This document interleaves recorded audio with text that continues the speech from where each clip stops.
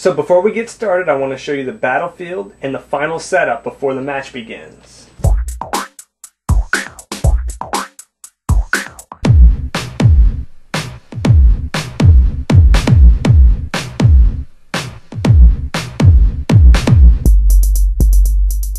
So I want to scan the battlefield one last time before the game starts just to get a good feel of how it looks and then you can see the starting areas which are in purple. That's the location where you will place your teams in the beginning of the game. So now that you have your team in the starting area, you're going to need some tokens and these tokens are going to be used to mark your actions when your characters do something. You're obviously going to need a set of dice Two sets of dice is preferable if you're going to have two players. And then you're going to need objects. Each team gets one yellow light object and one red heavy object. And then you have the option to use a special object. But in this case, I'm just going to give one of the teams the extra heavy object and the other team the light object. So one thing you need to know about placing objects, they need to be five squares away from your starting area. One, two, three, four, five. So we'll put them there, place another one here, and then another there. And that's just an example of placing your objects. Alright, now that we have the objects on the map and our teams are both in their starting zones, let's get this started. So now onto the gameplay. I will simulate the HeroClix match while going over the figures, powers, and abilities as they come. So let's get it started. Wonder Woman and Mera go first because they won the roll in the first video. Now both of these characters have charge and 10 movements and they both are flyers. So they are very similar when they move. But one thing I need to mention, flyers cannot carry other flyers. So both of these characters will have to move separately. Flyers can only carry grounded characters. So let's move Wonder Woman, and before I move her, I need to tell you about her super strength power, where she can pick up an object. I'm to have her fly all the way over here. She has 10 movement, and pick up this object. So she didn't use all of her movement, but that's fine. She picks this object up, and then you give her a token.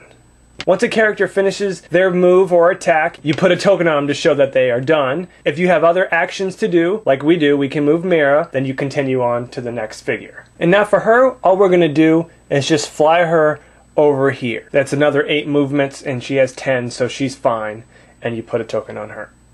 Now that your team finished all their actions, it's the other player's turn, and they go. So now it's the Green Lantern team's turn to go, and because it's a 300 point game, you have three actions you can do. You can either move or attack. The first thing we're going to do here is have Green Lantern carry the Atom because Green Lantern is a flyer and Atom is a grounded character, so they are able to do that. When a flyer carries a character, you subtract 2 from the movement. Green Lantern's movement is a 12, so if he carries the Atom, his movement will be a 10 now. So you just carry them one, two, three, four, five, six, seven. And then you just set down the character in an adjacent square next to the character that flew him up there. And then when you're done, you put a token on him. And the Atom cannot make an action this turn because he was carried. And now we're going to have Scarecrow fly in behind Green Lantern. Put a token on him. And if you can see this box they're in, it's hindering terrain. If a character shoots a character in hindering terrain or through hindering terrain, the character that is being shot gets the bonus on their defense. And if you move through it and you don't have a power that gets you through it safely, like leap climb, or if you're a flyer, or if you have phase in, powers like that, then once you hit the hindering terrain, you have to stop. Once you move out of it, your movement is half. Because the Scarecrow and Green Lantern are flyers, they're not affected by the terrain for movement purposes. And before you declare your turn over, make sure your characters don't have any abilities that will help you defend yourself. Scarecrow has Perplex. Now with Perplex, Scarecrow can perplex up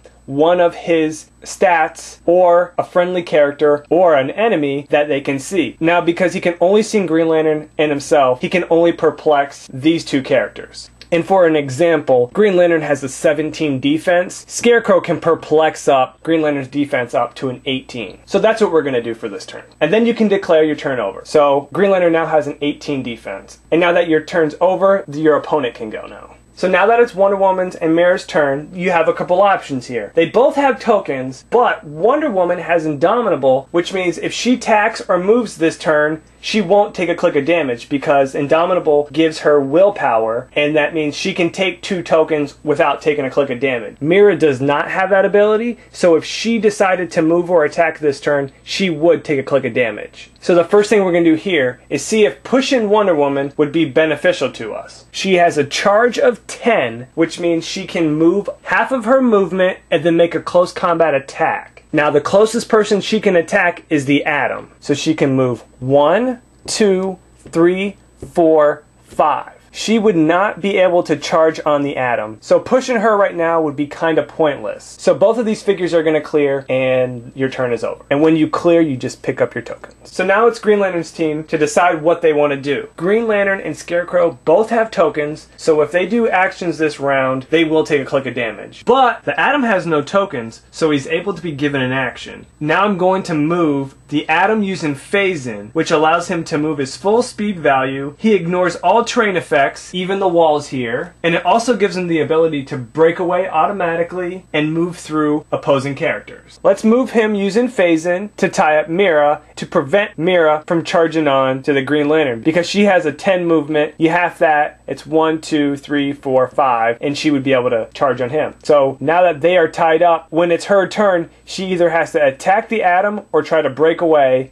and attack someone else. So this is a defensive move to prevent Mera attacking Green Lantern. And like last turn, as a free action, we're going to use Perplex to perplex up Green Lantern's defense up to an 18. And since these two characters did not attack or move, you clear them, and before I forget, put a token on the Atom for move in, and then you clear them, and then the Green Lantern's turn is over. In most cases, it's smart to attack with the character with the highest attack value first, which is Mera with the 11. But it's not a rule you must follow, it just gives you the best chance of success. So let's have Mera attack Atom, but first let's see which powers each of them have that might come into play. Mera has charge, but she's already base, so that's not into effect. She has a special power called Red Rage, but it only comes into effect if she has been damaged, and she has not yet, so that's not effective yet. And she has Battle Fury, which means she cannot be targeted from a mind control attack, but this is definitely not that. But she can only make close combat attacks. But this is a close combat attack, so she will be able to do that. So none of her powers come into effect on this attack roll. But now let's see what the Atom has to make life harder on Mera. He has Phase In, that's not going to come into effect. He has Incap, nope. He has Energy Shield Deflection. That gives you a bonus to your defense if you are targeted by a ranged attack. This is a close combat attack, so he will not get that bonus. But the Atom's final power on his dial is Shape Change. If he is targeted for a close combat attack or ranged attack, the Atom gets to roll a d6 on the result of a 5 or a 6. The character that's trying to attack him is not able to attack him and must choose a different action. Now, because Mera is based with the Atom, if he rolls his shape change attack, she is not able to do anything, but she still has to take an action for attempting to do the attack. So let's have the Atom roll and see if he can prevent this attack.